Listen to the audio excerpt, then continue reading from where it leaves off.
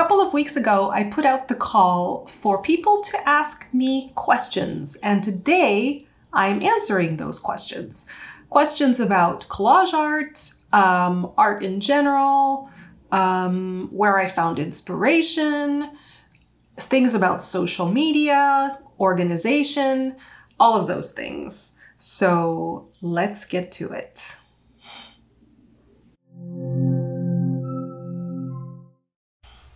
Hi, I'm Margarete Miller, and if you are not familiar with me or, or what I do, I am a collage artist.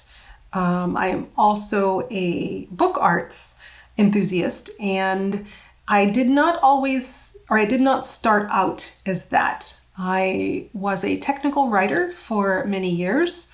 I worked for IT companies creating their user guides and um, technical manu- manuals. Once I stayed home uh, with having children, my focus changed to being a parent, of course, um, but also I was looking for some new hobbies and some new interests that I could work on while being at home. So I turned to art and I discovered book arts. I discovered junk journaling and I discovered collage. And these things really changed my life. They changed my life because I enjoyed doing them so much. I found great joy in, in the time that I was, was creating. And um, I wanted to share that, that knowledge with other people to encourage them to take up collage art and to, to take up creating uh, journals things like that. What I discovered by doing collage is that I enjoy it a lot. And I want to encourage people to try it and to like the process of working in collage as well. So, to that end, I created a couple of workbooks that provide assignments for people to do. Um, they're called Collage Weekly Planners. I have two volumes with 52 assignments in each one. Um, I've gotten a lot of good feedback that people are enjoying them, so I love that a lot. Uh, the other thing that I like to do is art exchanges. I do four through the year if everything is going well. Um, because again, I want people to actually do and make not just um, not just watch others do it and think about doing it, but to actually do it.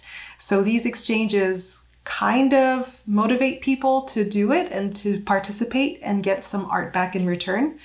And um, yeah, that's what I like to do.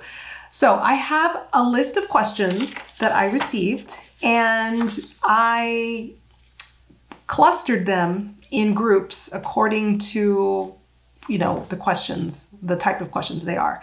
Some are general questions, some are very technical questions about collage and layout, and then other questions are about organization, and the last set is about social media. So I will start with the first group of general questions. Kathy Just Jen asks, My questions then are why, what, and how. Why does one create collage?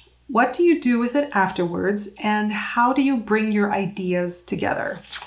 The last part, how do, how do I bring my ideas together, I will talk about in the technical section. But for the first two, why does one create collage and what do you do with it afterwards? Why does anyone choose to do something creative? Why do people paint? Why do people um, color in coloring books? Um, why do anything creative? They do it because it brings you joy, um, it makes you feel good, and it's the same thing with collage. You can collage with a purpose, say that you have um, photographs of your family or documents from your family and you want to somehow put it together in some kind of journal um, or even a, on, a, on a canvas in the wall that's with a purpose and you can do that certainly but you can also just collage with scraps just because it's fun it's engaging for your mind it keeps you occupied and you enjoy it um, that's that's the only reason uh, that you need is that you enjoy it What do you do? What do you do with it afterwards? Um, it, I guess it depends on what it is. Lots of times I I do collage in in journals, in junk or in glue books and junk journals. So I just I save those. I, I have them on shelves. I do like the fact that I can fold something up and and put it away with a book in a journal form. So that that medium I, I really do I do like. Sabrina and Benji, how did you get started on your paper craft journey? How did you discover the craft and learn more, expand on your experience? And what did you do in terms of classes and learning? Did you do other kinds of art before and do you have formal education in art? No, no formal education in art. Um, as I as I mentioned in my introduction, I, I began with collage and paper arts um, after I started having kids. So I was already in my early 40s when I um, began just with with paper crafts. Learn more and expand your experience. What did you do in terms of classes and learning? I I guess the biggest learning took place from from YouTube. Um, just watching, you know, there are tons and tons of videos, particularly on junk journaling. Not so much on collage, but on junk journaling, and I learned a lot from that. For collage, I learned the most from following people on Instagram. And with Instagram, you know, you you scroll and you see lots of photos. There's some there's some videos of people actually collaging, but I, I actually prefer the photos, the still photos, because everything is stopped. You just look at the image and you absorb, you know, how the placement, just the look and feel. Um, so I learned a lot from from um, people that way, other artists that way. Okay, Tina says, What inspires you? Have you always been creative? And the next question from Jean says, What inspired your interest in vintage collage? So, what inspires me is history. I love, and I always have um, been interested in history. I, I live in California. Um, California history interests me, aviation history interests me. I volunteer at my local historical society. So yeah, that's that's always been that's always been big. Family history also also family history. and particularly in vintage collages, um, I guess also I have a, a, a love of paper. So when you combine history and paper, you get vintage papers and um, that's that's really great. The the thing that I also love about paper is that it's flat and again, you can fold it up or it's easy to store. You can put it away. You can have a lot of it and it's relatively, it just doesn't take up a lot of space is, is my point. so I, I do like paper and I do like vintage things. Shelly says, what collage form speaks to you most? Do you enjoy making or collecting certain forms or sizes or sizes more than others? I don't really have a idea specifically what I could answer for collage form. Um, size, I I do prefer postcard size, which is four inches by six inches. That seems to be kind of the sweet spot for me. If I go bigger, then I get a little anxious that I'm not, I have a lot of space that I need to fill. And if I go smaller, it kind of trips me up as well. So I've just gotten a kind of I'm kind of really good with four by six or five by seven. That's that's the spot. I wish I wish I could ask you, Shelly, a little bit.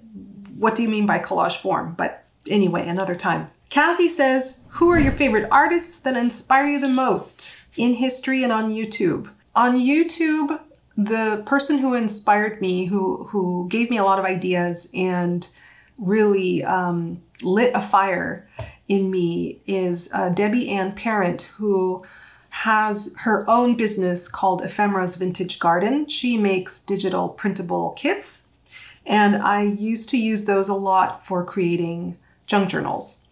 But she shows you her junk journals in her videos and um, you know gives you ideas or gave me ideas of of how to do things.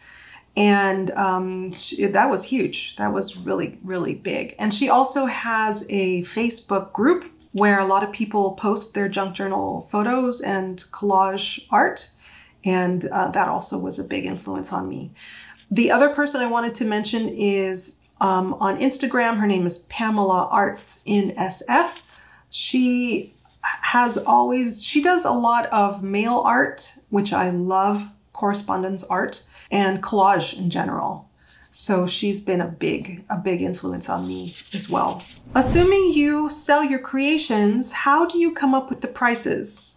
Donna h asks. I don't sell my creations so much. I don't sell my junk journals. I don't sell individual collages. Uh, but I have sold a, one junk journal in the past, and I know that for pricing, you, what you have to do is basically go online and see what other people are selling their junk journals for. The best place for that would be Etsy. I would recommend going on Etsy and just doing a search for for whatever type of art you're trying to sell and see what other artists are selling theirs at. Andrea says, actually, I would love to learn about copyright issues when using collage material for personal use, but also in case I want to sell some of my collages. Andrea wins the award for most complicated question. um, this is a very big topic, um, and I'm not an expert because I'm not a lawyer.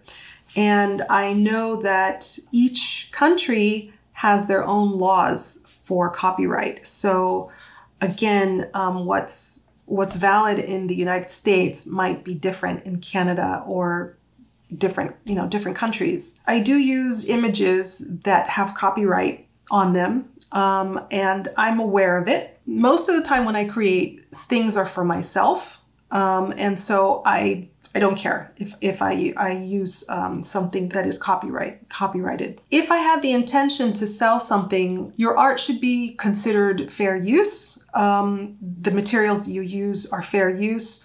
What that means is that you need to be aware of how you are using those those pieces of illustration or paper in your art.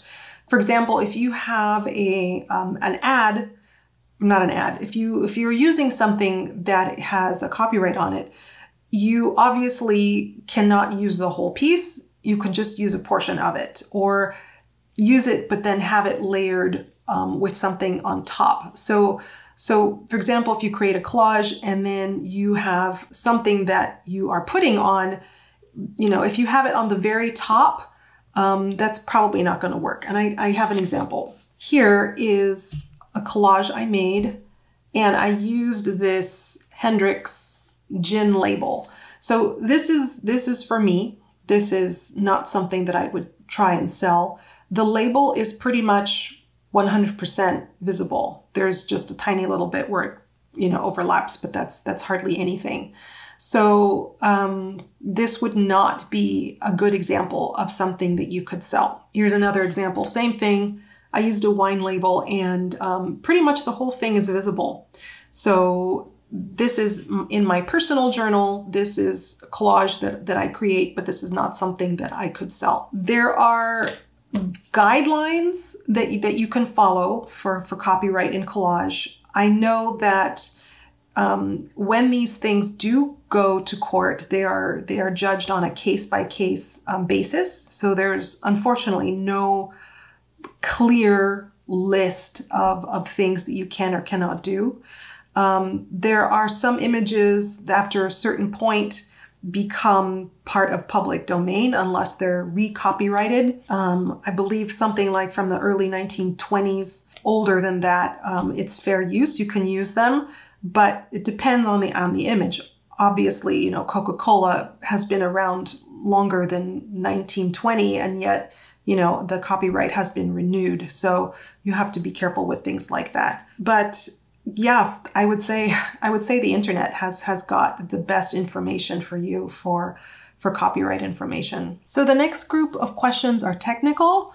The first two questions are about glue. Mamma Mia says, I've asked this before, but I'm thinking it may help others. What is your preferred way, tool, glue, or both, to adhere your ephemera to projects? Does this choice differ as to what type of medium it's going on? What special tools do you positively need or use when working on a project? And lastly, what's your opinion of digital collage? This last part, um, I will take that as a separate question and address that later because the second question is also regarding glue. Uh, it's the glue and sealing and all, water-based or not, that troubles me. I like the finished product archivable. I'm working on family history collages. I'm trying a spray varnish soon for both water-based and not. Can you revisit your gluing and do you permanently seal your art? Thank you. Okay, glue. What is my preferred way to glue? For general purposes, general collage, that's just casual, fun, not, I'm not using any special pieces ephemera, just, I don't know, um, newspaper or magazine pictures.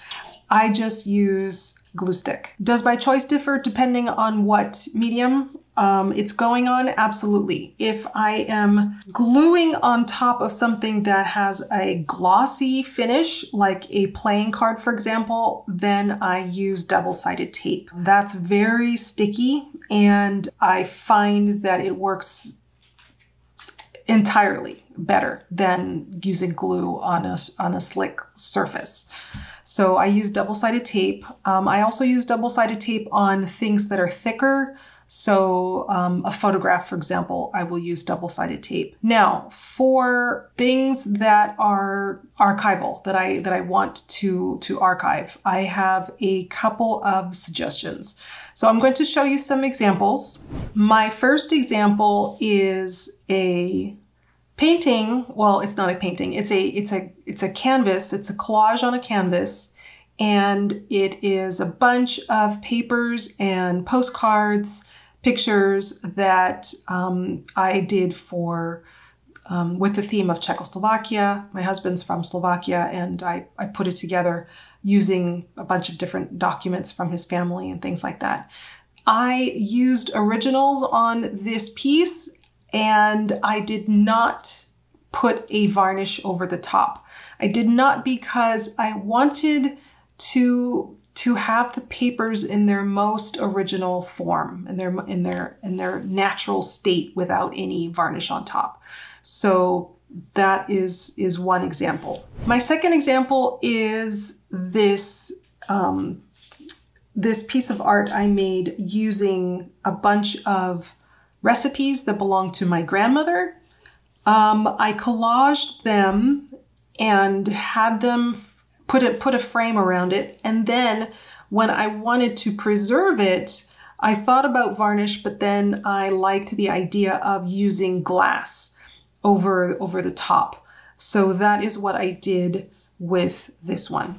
My third example is another canvas piece I did, collage, and these are images um, that I gathered and um, used with with the theme of Vienna, the city of Vienna. I these these papers are all uh, copies and reproductions, so I did not use any original pieces in in the in this collage.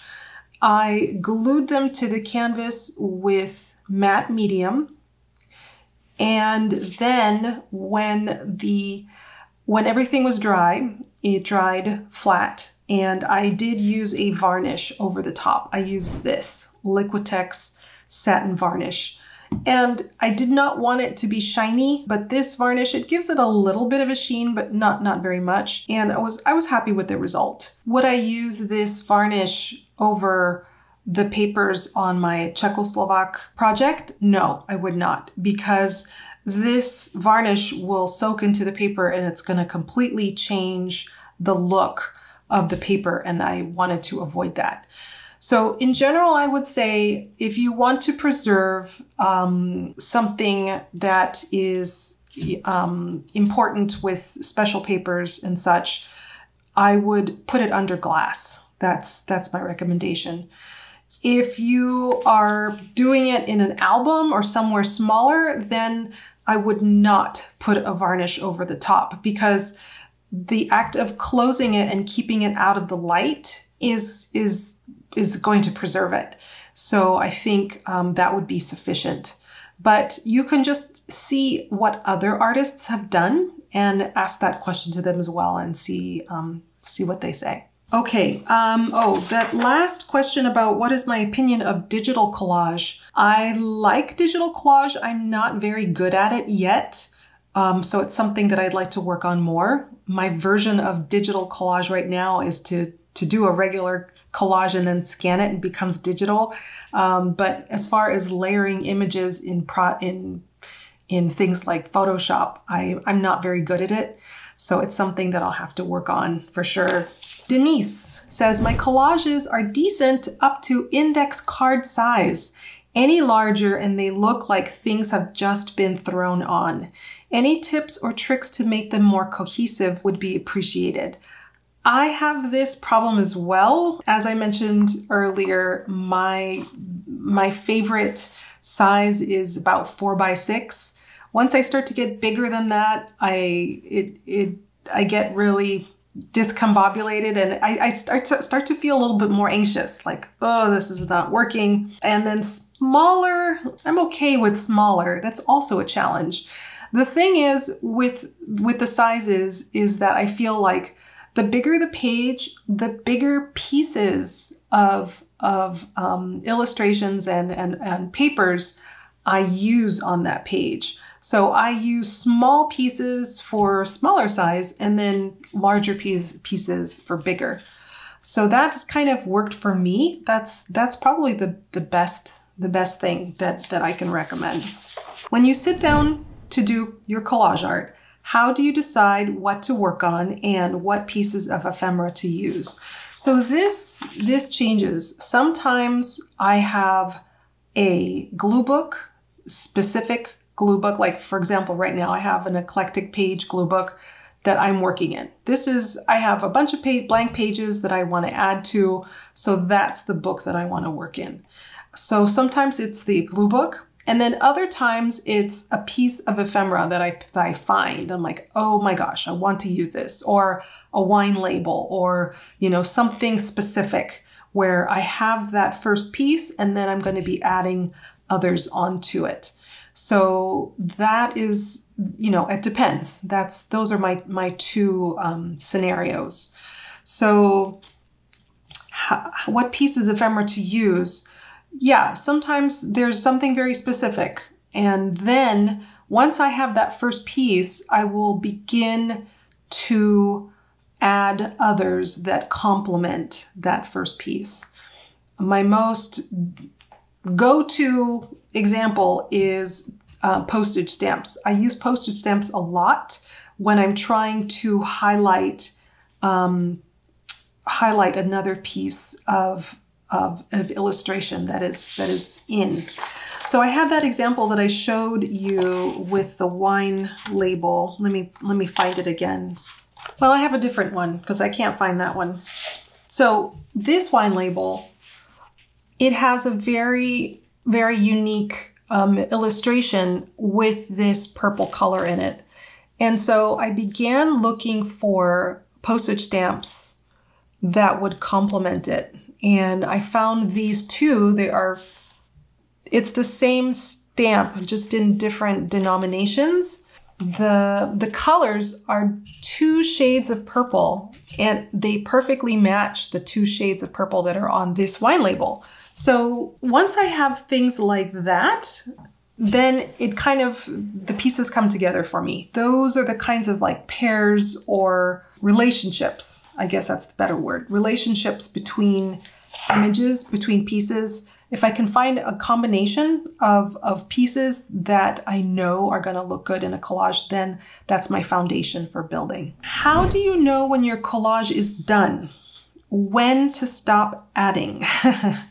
One thing I have learned that's really important is that when you are considering how to build a collage, there are certain things that you need. You need a substrate, which is something that you put your papers onto. You need papers, you need glue, and you also need time. Time is a factor that is part of your collage, and people don't take this into consideration often enough. People want to start something, they want to work on it, they want to finish it, and they want to move on to something else. And with collage, that does not work. Or, of course, it works, but you will just be a happier person if you realize that time is one of the ingredients that you need to make a good collage. So, how do you know when it's done? Is you let something rest and you come back to it. Sometimes that rest period is 10 minutes or half an hour or half a day. Sometimes it's one day or two day or three days. It depends on the project that you're working on and um, you know how much time you want to devote to it. So I often will lay things out and then walk away, go away, and if if I'm really attached to making this collage work, I sometimes spend a week making a single collage, and I, it's not not all the time, but if I really love the pieces that I have, if I have some really beautiful picture or, or a combination of things that I really want to work, then I will be patient. I will use the time to, to devote to making it work. That's the best way to put it. So sometimes I, I and, and I always leave the option open to come back to it. Even sometimes years later, I will I will come back and I will add something. So you stop when you are comfortable stopping and then just tell yourself, you know what, if I want to add something back, if I want to look over it again in a month and, and see if there's something that I can add, then it's okay to do that, right? Let me let me see if I can find another example. I was just looking over this um, this collage here, um, and I see some spots that I could put something, put something else over there, look, I have this long empty space over here. Um, so I am open to the fact that I can come back and add something to this collage. Hollis says, what constitutes a focal point? It sounds like it is the image the eye travels to first or is most prominent. But what makes it that way? Is it size? Is it color? Is it location on the page? Whether it's a person, place, or thing, all of the above. Does it need to be the topmost layer and not tucked under any other papers at that point? I know when I've been successful, even if accidentally, in establishing a focal point, but other times my page just seems to be an assemblage of things of equal value. Wow, Hollis, you got it right. You hit the nail on the head with this one. Sometimes there's a focal point, and sometimes there seems to be an assemblage of things of equal value. That is exactly right. And those are two different types of collages. So one is not better than the other. They are simply two types. Sometimes you have a clear focal point. You know exactly what your eye should go to. Other times it's just, it's the whole composition that is your collage, right?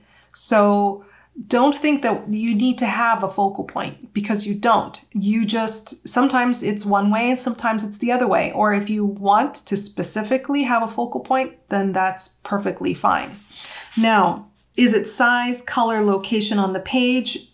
If you choose to have a focal point, then probably yes. It can be all of those things or it could just be one of those things, right? A person, place, or thing, it doesn't matter uh, what your focal point is. Um, it could be just something that's very colorful.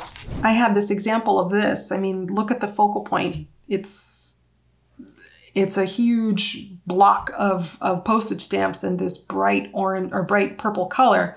So that's my focal point. It's not it's not where it's positioned, it's just probably the size and the color. Rachel C says, how can I move to the next phase in collage? I'm still stuck in neutrals.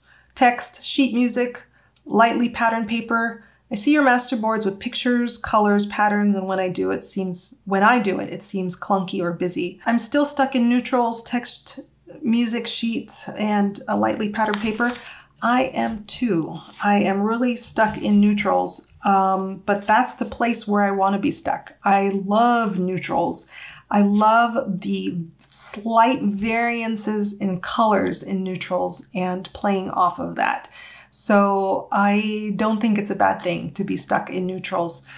Um, if you want to add more color, then choose something, you know, as you look through your papers, something that stands out to you with color that you can add on top of your neutrals. The only way to to feel more confident with what you're doing is is to practice more and to do more. So um, experiment with the colors that you like in combination with neutrals and experimenting with experiment with doing something bold um, if you'd like. The next question is also about color. Do you think about your colors? How many different colors would you use on a piece? Do you usually use a focal color? I suppose I do. And let me see if I can find another example. So here is a collage with a purple color as probably the dominant color on this, this page. I have some neutrals um, and then I've got that really loud um, business envelope um, pattern back there. But purple is, is the color that I tried to, to have stand out. How many colors would I use in a piece? Probably two, maximum three. Um, and that is in addition to, to the neutrals. So in that example I showed you, I have blue and I have purple and also a little bit of green. It just depends on how how loud and how busy you you like your collages, or if you want them to be kind of muted. Um, it's just a preference. And again, the only thing that you can do is to just keep on creating and seeing what you like to do. I do sometimes push myself to use more color, and sometimes I feel like I'm a little uncomfortable with that. So it's something that I need to do more of, but it's it's just personal preference. Nichelle says, in your video on creating a glue book, you show index cards on a ring. Your cards look more oblong than standard index card. What are the dimensions? Can you sh please share? So let me show you what this is. This is my set of index cards and they are three and a half by six and a quarter. So these cards, they are index cards and I tend to do them in sets. Let me show you. So here is what one set looks like. The theme I have here are photos, vintage photos, and then I also have some red that I share across both sides. I do two cards at one time, sitting pretty much just like this, and that way I can kind of make these two collages cohesive. Let me show you another example. This one kind of has a blue theme, a little bit of yellow,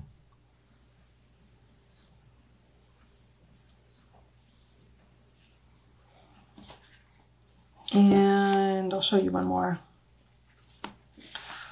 This one.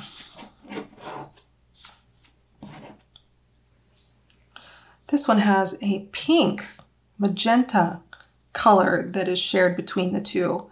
I also use postcards on both sides and I also use these um, illustrations of buildings. So yep, it's just a one one set or one style of of creating a collection of collages. Um, I do I do like to work in this little book. Okay, next set of questions is regarding organization. How do you store your ephemera? Um, I have two questions, Angela Art and Linda. Linda asks, what kind of storage system do you have for all of your ephemera? I guess I have to show you my workspace. My workspace is in my laundry room, which is not a very attractive location, but I will give you a little tour. Here is my office. it is um, a counter in my laundry room area So I stand to work and behind this door, well, through that space there is my kitchen, but behind this door is a shelf that I have a lot of supplies on. And then I have my desk where I I work. So here on my desk, you can see that I have these um, these just nesting boxes, basically. This is where I put all of my papers. Not all of my papers, but a, a big chunk of them are here. And I like to have them separated by size. That's pretty much the main criteria for what goes in these boxes is size. So, um, well, the only thing that I don't have in here are postage stamps. I keep those separate. But I will put everything else. I put photos, I put postcards, I put papers in these nested boxes. Up in the cabinets, I have some vintage ephemera that are very small pieces. I keep them in this these this pen pen pencil separator thing that that goes typically inside of your desk. Um, I use that to stick all of my vintage, um, my small vintage pieces. So these these pieces of paper are from 1945 or older.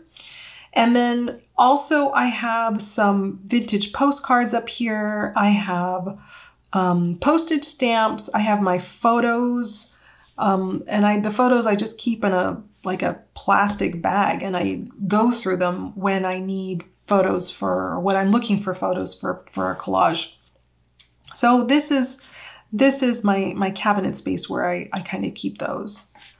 I also have some larger pieces of paper that don't fit into the nested boxes and I keep those in the cabinets below. Um, but I, I, don't have too many, um, too many of those large pieces. In the cabinets below, I also keep um, my the mail art that I receive.